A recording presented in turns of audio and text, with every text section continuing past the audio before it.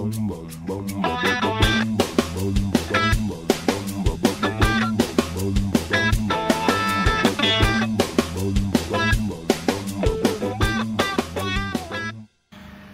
фрезеровка текстолита, толщина полтора миллиметра.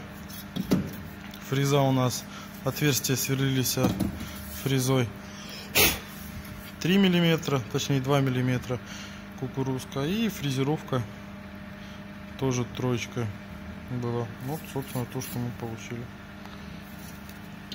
Станок у нас Woodrouter 1. Вот так вот он у нас выглядит. На рельсовых направляющих шпиндель полтора киловатта.